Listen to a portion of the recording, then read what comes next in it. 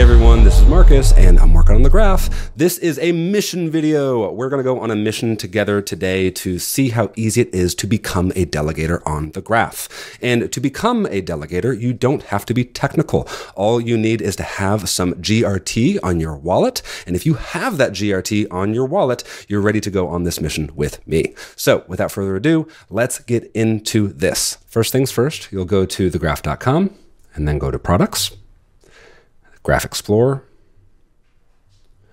You'll connect your wallet. And then click on your wallet address in this top corner. Click on Delegating. And you will find an indexer that you want to delegate to. You could learn more about the delegator role here, but we're just going to go ahead and find the indexer that we want to delegate to. You'll be presented with a list of the indexers that you want to analyze and you could look through all of the different indexers that are currently indexing and you could see all the subgraphs they are indexing. You could see more information about them. You could also search the indexers if there's one that you're specifically looking for and just begin to analyze this information. Once you've come to a conclusion on indexer that you want to delegate to you can go ahead and go through this way and then also, if you click on any indexer, you can get more information on their dashboard and just really understand what they're doing. You can see all the other delegators that are currently delegating to this indexer.